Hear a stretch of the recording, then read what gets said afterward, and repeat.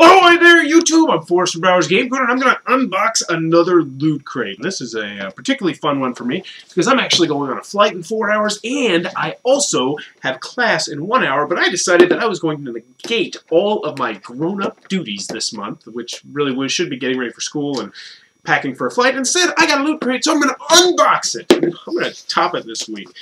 Uh, I'm going to top of this month, I should say, because the last couple months I've been very disappointed with the Loot Crate, actually last month, so I decided to turn this month's Loot Crate unboxing into a drinking game, so every time I am disappointed with something in this box, I'm going to take a big old swig of beer, and every time that I actually find something useful that I can take on the plane with me, because uh, I'm about to go on a flight, I'm going to take a swig of this, big old swig of that, and hopefully, I'm hoping, I'm hoping for some useful stuff, because I'd love to get a nice little buzz going on right now.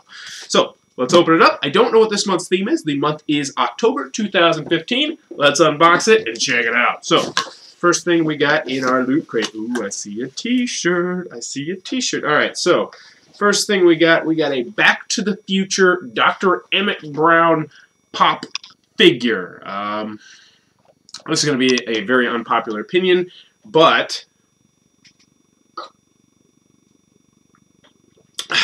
I've only seen the Back to the Futures movies once. I've only seen the first one.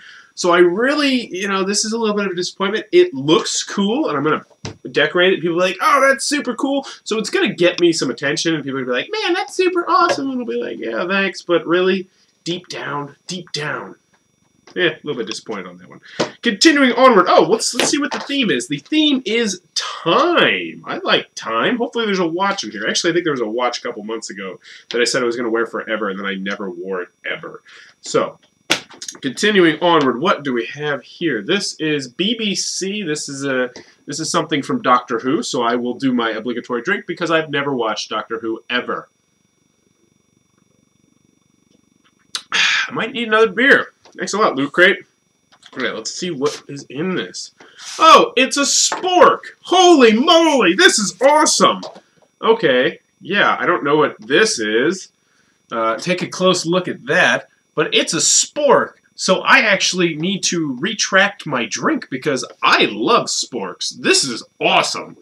Uh, so generally when you... Oh, this is a Doctor Who Sonic Spork. Uh, I'm a big, big supporter of sporks. I mean, I hate when I have to, because I do dishes all the time, so I hate when I have to have a spoon and a fork. So this one, I apologize, Loot Crate. This is actually really cool. So I'm going to actually take back that drink by taking another big drink. So yes, uh, spork, cool. This, cool, but not really for me. So, so far, I am not too displeased with this month's Loot Crate. Uh, so let's that right there where you can't see it. And let's see, we got ourselves a little pin. I want to drink more beer, so we'll just say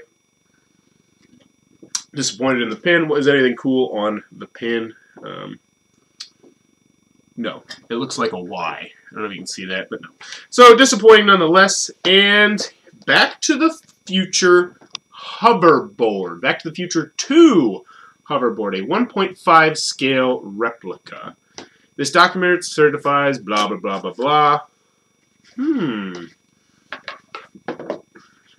Okay, this is, uh, that's interesting. Oh, come on, it doesn't come off the base. Okay, it's not supposed to come off the base. I'm pretty sure I just broke it.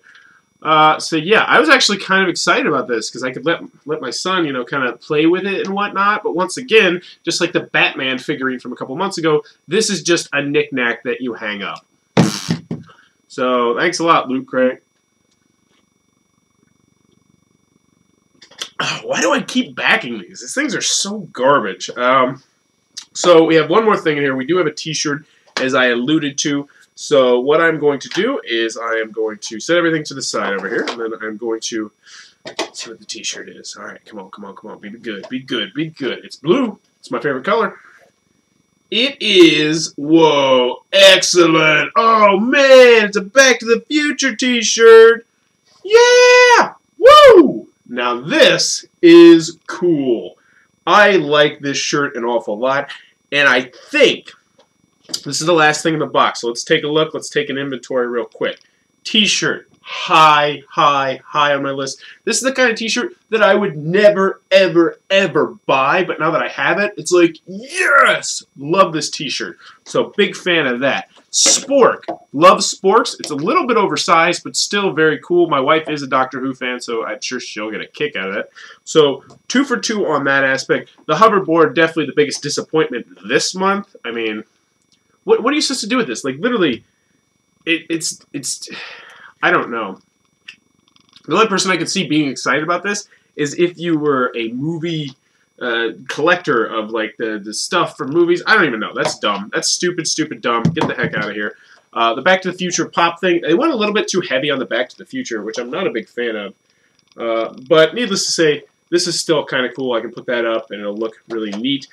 And you know what? I just realized I am wearing this really nice blue shirt, and this blue kind of shirt kind of watches it uh, kind of matches. And I was actually thinking that my undershirt should probably be white or blue. So that means that I think I'm going to change shirts and wear this shirt on the flight, which means it's time for a shot. Thanks, Loot Crate. Ooh, dog hair. Thanks, Bailey. Ooh, what am I talking about? That's Malibu. That actually tastes kind of sweet. You know what? So, this month's Loot Crate, it was okay. Nothing better, nothing worse.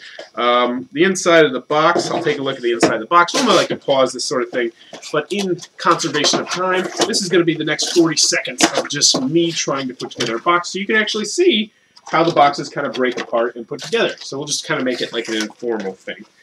Um, so I think you put this right here. Do this maybe. You got this guy going on with the thing. Yeah, so it's that. And, hmm, this goes over here, like this, like that. And fold these little tuckers up. Oh, actually, you gotta go like this. Sure, so do that. Then we got this going on in here. We fold those guys into this. I feel the need to talk because you're all watching me with judgmental eyes, even though I'm really kind of just blabbering. And bada boom, we are done. So let's see what it is. And the box itself turns into a a stage. Actually, I think we can do it. Yeah, that's how it's supposed to go.